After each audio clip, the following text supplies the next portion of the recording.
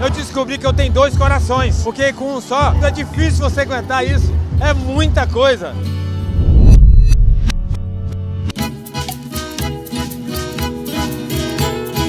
O legado olímpico também é essa consciência pelos animais. Estou muito orgulhoso de representar esse trabalho e todos aqueles que se dedicam à proteção dos animais no Brasil.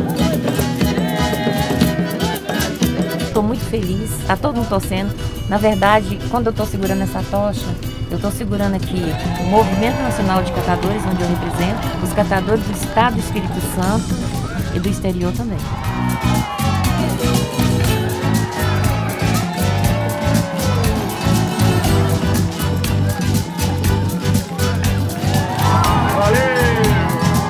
Eu nasci aqui no Espírito Santo, em Linhares, e é uma honra estar carregando essa tocha, o símbolo das Olimpíadas, aqui na minha terra natal.